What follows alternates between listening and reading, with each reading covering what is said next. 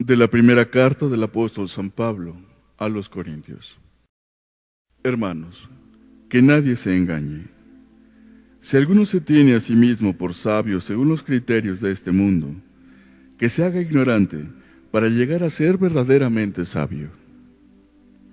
Porque la sabiduría de este mundo es ignorancia ante Dios, como dice la Escritura. Dios hace que los sabios caigan en la trampa de su propia astucia.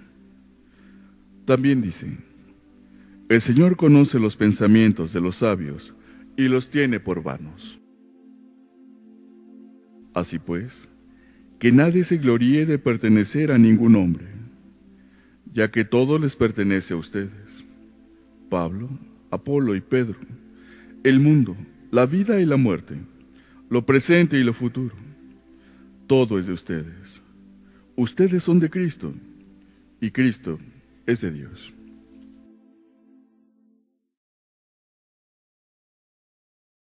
Del Señor es la tierra y cuanto la llena. Del Señor es la tierra y cuanto la llena, el orbe y todos sus habitantes. Él la fundó sobre los mares, Él la afianzó sobre los ríos. Del Señor es la tierra y cuánto la llena. ¿Quién puede subir al monte del Señor? ¿Quién puede estar en el recinto sacro?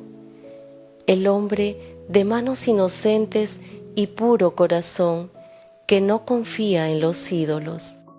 Del Señor es la tierra y cuánto la llena.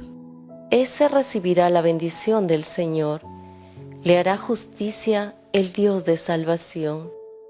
Este es el grupo que busca al Señor, que viene a tu presencia, Dios de Jacob. Del Señor es la tierra y cuánto la llena. Evangelio según San Lucas. Cierto día, mientras Jesús predicaba en la orilla del mar de Galilea, grandes multitudes se abalanzaban sobre él para escuchar la palabra de Dios. Jesús notó dos barcas vacías en la orilla porque los pescadores las habían dejado mientras lavaban sus redes. Al subir a una de las barcas, Jesús le pidió a Simón, el dueño de la barca, que la empujara al agua. Luego se sentó en la barca y desde allí enseñaba a las multitudes. Cuando terminó de hablar, le dijo a Simón, Ahora ve a las aguas más profundas y echa tus redes para pescar. Simón le respondió, Maestro, hemos trabajado mucho durante toda la noche y no hemos pescado nada. Pero si tú lo dices, echaré las redes nuevamente. Y esta vez las redes se llenaron de tantos peces que comenzaron a romperse. Un grito de auxilio atrajo a los compañeros de la otra barca y pronto las dos barcas estaban llenas de peces y a punto de hundirse. Cuando Simón Pedro se dio cuenta de lo que había sucedido, cayó de rodillas delante de Jesús y le dijo, Señor, por favor, aléjate de mí. Soy demasiado pecador para estar cerca de ti. Pues estaba muy asombrado por la cantidad de peces que habían sacado, al igual que los otros que estaban con él. Sus compañeros, Santiago y Juan, hijos de Zebedeo, también estaban asombrados. Jesús respondió a Simón, No tengas miedo. De ahora en adelante, pescarás personas.